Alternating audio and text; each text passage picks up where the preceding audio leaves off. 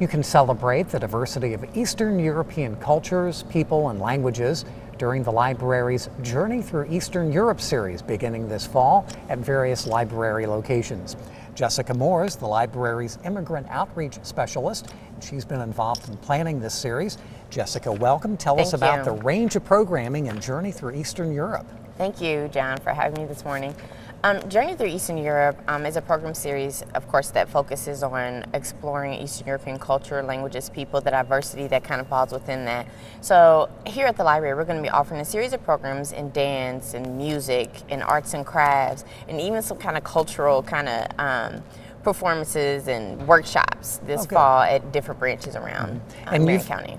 We've done this over the years with different Mm-hmm. regions of the world, so it's more or less your charge to kind of move it around a little bit Mm-hmm. and now celebrate Eastern Europe.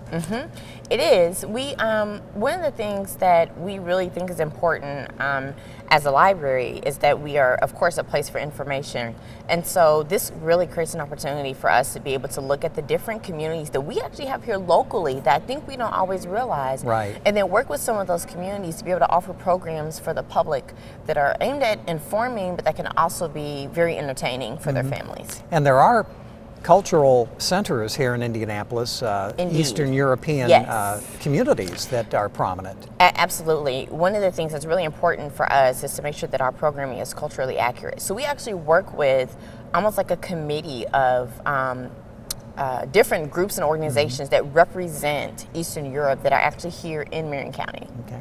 Again, the series is called Journey Through Eastern Europe. It begins in September, continues all the way through the end of the year at various libraries.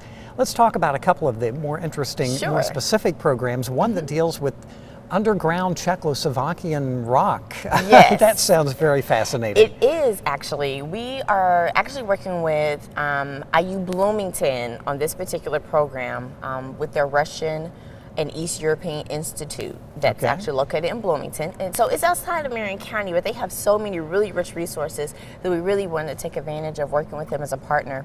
And some of their a professor there actually um, offers this class. It's an academic course usually, and he's actually going to be modifying this class to be able to offer it to patrons. And they are going to talk about rock music from the Czechoslovak underground, how it started, and give people some examples and opportunity to kind of interact and ask some questions and things like that. And that program will be in September, so Yes. check the library's website and calendar when that comes up starting in September. Then another one later in the year uh, that deals with the origins of vampire stories. Yes, this one also is from our partner at uh, IU Bloomington.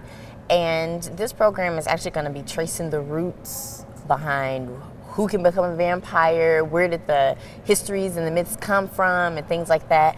Um, and actually, the, the uh, gentleman who's going to be teaching this class actually has roots and family members who are from Transylvania.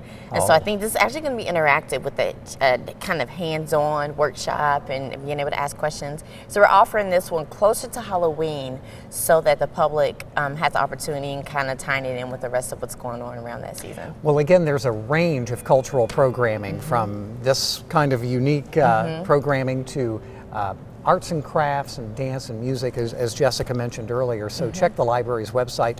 This is an exciting time for the mm-hmm. library because we're not only doing this series, but we're launching the, the mm-hmm. visits of our sister city representatives to Cologne, Germany, which will take place in August, and uh, next month or in October, two reps going to Beijing, China. So this has to be an exciting time for you. It is very exciting. I think as a system it's been very busy, um, but it's good stuff. We actually are um, ha- have the opportunity to really put Indianapolis kind of on the map as being a global city, which is one of the initiatives of the mayor's office and lots of other nonprofit organizations and groups that have actually gotten on board with this in terms of celebrating who we are as a diverse and globally um, significant city. So be sure to check the library's website again and between the lines future episodes as we chart the progress of our sister city library ambassadors to the different countries. And again, the Journey Through Eastern Europe programming beginning in September. Check your local branch or the library's website for programming in that series coming up near you.